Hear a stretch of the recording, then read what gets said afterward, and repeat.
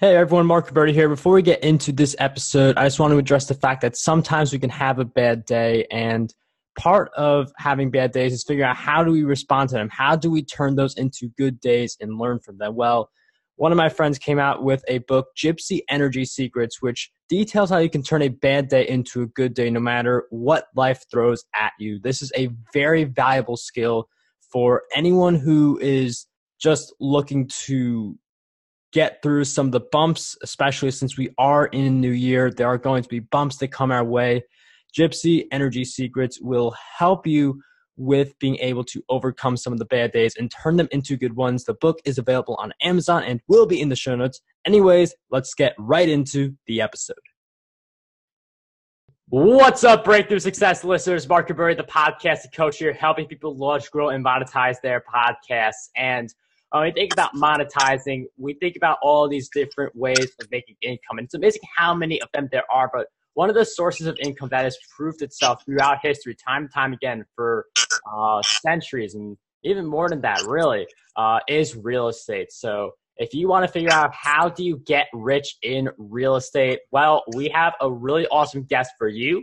Uh, he is the founder and managing director of Broadway Realty, a real estate brokerage in Manhattan and over 20 years of experience, our guest has sold over 2 billion in New York real estate. That's with a B, 2 billion. We'll say it again, 2 billion in New York real estate. So our guest who has this experience is on the show to teach us how to get rich in real estate. So he is none other than Elliot Bogod. Elliot, welcome to the show. Hi, Mark. Thanks for having me on your show, and hello to all your listeners. Elliot, thank you so much for coming on Breakthrough Success. I feel like it's going to be a really awesome conversation because for someone who's achieved as much success as you in real estate, helping people get rich in real estate, uh, I feel like a lot of people are going to be impacted by this. So I'm wondering if we could just kick things off by sharing like, uh, no one really starts with all this real estate knowledge. So how did you develop the real estate knowledge and get to where you are? Um, Mark, I started working for a commercial real estate company here in Manhattan, and I worked for about two years. And then I opened my own company, which is called Broadway Realty. I'm the founder of Broadway Realty. And ever since I started doing retail, uh, offices, I do some residential business, investment properties for me and my clients, my investors. And it's interesting. I mean, from that starting point, it's you've been able to grow to the level that you're at now, and part of that has really been dissecting some of these really big time real estate uh, properties and making all these big deals. And one of the things you hear in real estate very often is location, location, location. So, uh, how do we evaluate the locations for investments? Because we want to make sure you know we're not investing in a bad area and that we're investing in the best area. Yes, that's uh, one important uh, thing to know about your location. I always tell my clients, my investors, and I do it myself. I go to the location and I look at the neighborhood uh, during daytime, nighttime, during weekdays and weekends. You want to know all about your neighbors. You, you want to know about the points of interest. You know, you want to know about uh, transportation. How is it uh, the commute? Um, so this is really important. And trendy neighborhoods, uh, what's making them trendy? What is the expectations for the neighborhood? What is the neighboring properties? Uh, that's all important.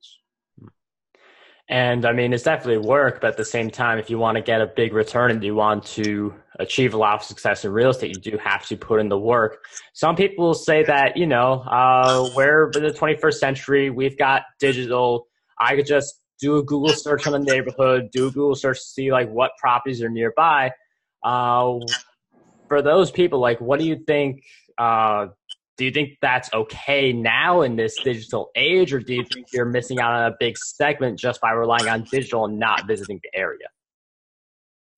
Uh, you know, it's another good question. Uh, I would first, of course, look at the neighborhoods, look at the, at the, Google map, and to see how it looks from up there. uh, from out of space, but you actually investing in a real property and you would like to come and see it in person and spend some time there. So it always comes to basics. You come, you observe, you ask questions, um, you looked at the stores, restaurants, uh, you spend some time there, you understand dynamics of the neighborhood, and you do it in person. I love that answer because I feel like people who are new to real estate can think that, and I'm sort of speaking as myself also because I want to get into it, but I REITs is like the way I'm in it right now. But uh, like if you look at the Google map, you can look at it, it looks nice, and you know you think that's the place you want to get, but I feel like what Elliot's emphasizing here is Google Maps is good, but it's more of like a process of elimination. So like you could eliminate the bad stuff right away, and if something looks good on Google Maps, that's an area oh I should visit it to see if this is something good instead of just looking at what Google Maps gives you, what crime rate and stuff like that you find online by searching those things, and just use that as process of elimination for places that you should consider and then visit those places uh, that are on your short list. Absolutely, Mark. Um, as an example, I can give you one neighborhood here in New York City, and it's amazing neighborhood. Uh, it's called Hudson Yards. Uh, Hudson Yards became a, a, new neighborhood in the city, and it's hard to believe uh, how much was done. And the developer-related group uh, made an uh, a whole new neighborhood and it's neighborhood like no other. So I enjoyed it visiting myself not so long ago and uh, compared to what it was in two years. I don't know what Google Map would show in today's uh, uh, current maps, but it changed completely in about uh, last two three years. And that's another thing. Like sometimes a neighborhood could change so much in just a short amount of time.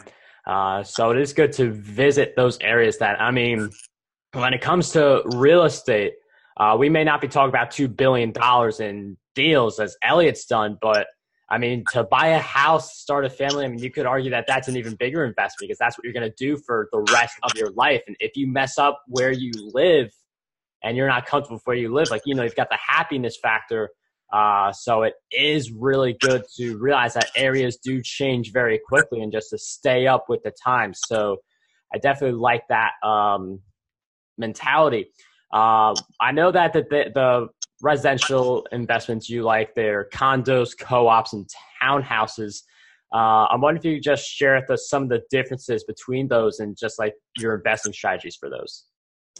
Yes, Mark. Uh, so there is a lot of um, real estate um, types in uh, Manhattan and uh, in other neighborhoods and uh, in another, other parts of the country. But here in in the city, and I'm speaking from the experience that I'm doing it over 22 years now. So you have your condos, which is the big um, a big part of the, and it's over 90,000 condominium apartments today in, in New York City. Uh, you have your co-ops, which is even bigger uh, part of the market, and you have your rental apartments. You have your townhouses, which is only five, six thousand townhouses in a, in New York, and uh, all of them are different. All of them are different uh, tax classes, and I describe them uh, in my book. Uh, it's called uh, Get Rich in Real Estate. It will tell you all about the those classes, all about the markets, and markets are changing rapidly. So if your listeners would like to get the book, it's available on Amazon, Get Rich in Real Estate, and uh, they will know more from the book. Yeah, so we'll definitely drop that in the show notes in the description. Uh, depending on where you're looking at, it'll have different. But yeah, get rich in real estate. I mean, if you like this interview, we still got more to cover, obviously. But you know, if you're liking this vibe and you like Elliot and you like the knowledge he has, I definitely do recommend you uh, do pick up your copy. Uh, one of the things that um, I mean, with the two billion, like even with someone who's like anyone in real estate who has bought properties and achieved success, uh, it's almost never just one individual. It's usually a team behind that person. And uh, with real estate, I see some people having this uh, mindset where uh, people are out trying to squeeze out as much money from you as possible. So, uh, how can we like find great people for our team who are trustworthy and who uh, will help us with our real estate ambitions?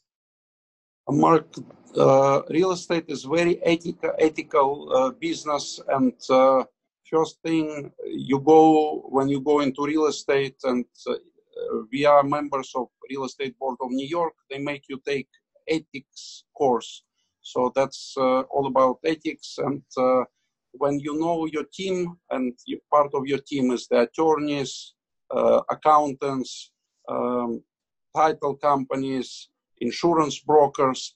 This is all people that you work with, and every day you have your uh, issues, you have your um, uh, things that are uh, happening, and you have to talk to them, and they are professionals who are around you, and you have to, to know all these things, and it's really important to uh, cover them. Uh, I'm talking about those things in my book as well and uh, this is something for your listeners to know. And I mean, it's good that you point out, like, you know, you need accountants, you need all these different people to help you with the real estate. And especially if you want to branch out this thing, like some people, they decide to buy hundreds of uh, properties and you can't manage all that. Other people, they're just happy with like two, three, four, five that bring in passive income. So it definitely depends on uh, what kinds of real estate setup you want to have. One of the questions I do want to ask you though is um, with the success you've had, I feel like we're all built on habits. So I'm wondering if you could share with us some of the habits that have been really essential for your success. So one of the important habits is you come to work every day, and this is your work. It's not a habit, but uh, you go to meetings, you talk to people, you ask questions it's all uh, uh, starts with one property, your first property that you own, and it's really important. It doesn't matter if you own one property or 10 or 100, you want to be successful with that particular piece of property, and you have to know it rents, it sells, or it refinances. Uh, so all the aspects, all the it's all a process, and you have to be your hobby and your work has to be around that uh, to make sure that you run your property successfully. And I mean, we did hit on like, you know, if you have one property, 10 or 100 properties, you still want that, your next property to do well. It's not like you get 100 properties, like, ah, oh, the 101st one, I don't care about that one. Like, you still want all of your properties to be successful and produce money, obviously. But I feel like one of the things that may hit home with a lot of people is uh, they may want to get into real estate or they may have like a uh, a little bit in real estate, but they may still have a job and they may want to use the wealth that real estate can provide to replace their income. So, uh, how do you suggest people build up to that point? Um, so, one important aspect of real estate ownership is passive income. So, your property should generate a solid income, and you should always think about ways to keep up to increase value, but you don't forget about the fundamentals. Fundamental is the rent roll and your passive income that property generates. And as long as your property generates income, it will go through all the cycles. Uh, it's a lot of cycles in your markets, in any markets. Uh, and in New York, every three to five years, we experience uh, uh, price increases, price decreases, it becomes buyer's market, seller's market. So all those fluctuations, uh, it's important to know that if you get your passive income and if you get your rent roll, it's you you'll manage to get through all the cycles. And that that is a really amazing point because I feel like there are, there are a lot of people who I've had on Breakthrough Success. They'll say I got started in real estate in 2003, 2004, 2005, 2006. And then they talk about 2008 as this year that really destroyed them. Uh, but if you focus on just being able to continue generating income from your real estate and you have that mentality and you look at the fundamentals, then you are prepared for any kind of uh, market cycle that can come your way because uh, prices don't go up forever, prices don't go down forever. Uh, but you know, fundamentals and stuff like that is really uh, important, as Elliot mentioned, for making sure you ride those different cycles. Absolutely, Mark. Uh, so we saw very good market between 2002 and 2007. That was a golden age of the construction, and uh, uh, we saw the great market uh, for condos. They all sold, and uh, people received mortgages, and it was a great uh, market to sell and buy and uh, we saw not so good market. Uh, that was a crisis of uh, Lehman Brothers in 2008, 2009. Between 2009 and 2011, we didn't have a lot of transactions. Um, and then again, from 2012 to 2015, uh, we had a very strong uh, sellers market. And now we are back to buyers market. It's a soft market and it's good to buy again. So that's what we see in the last uh, decades. And through all those ups and downs, I mean, this definitely comes from experience of investing. But I feel like that's not that's not enough for this uh, question. But uh, how do you ride those ups and downs mentally? Like, how do you stay mentally strong? Because there are some people who they'll buy at, you know they'll buy a 2006 and then they'll sell a 2008 because they just they just don't want to lose more than what they've already lost so how do you stay mentally strong through a cycle when you've just bought a property and you can see it go down very quickly in value uh, for that short term uh, mark it's important to know that uh, any, any, cycle will come to an end and it will change and the market will change so when you cannot sell your property, consider other options. Other options are you rent it, you refinance it, you take a partner, you do a joint venture. So there is a lot of ways by running a business and uh, you take advantage of all that is offered to you. You always have options. I love that. You always have options uh, when it comes to real estate investing, when it comes to podcasting, when it comes to anything it is that you're doing. I love that you always have options. Great way, great ending message. Uh, for people who want to learn more about Elliot, we will be including a link to his book, Get Rich in Real Estate. Are there any other good places where we can learn more about what you're doing? Yes, Mark. So I have my social media, which is YouTube channel, uh, Twitter. I'm also on Instagram, uh, Facebook. My company is Broadway Realty. So if my if your listeners would like to connect with me, uh, they can connect with Broadway Realty on different channels, such as all the social media.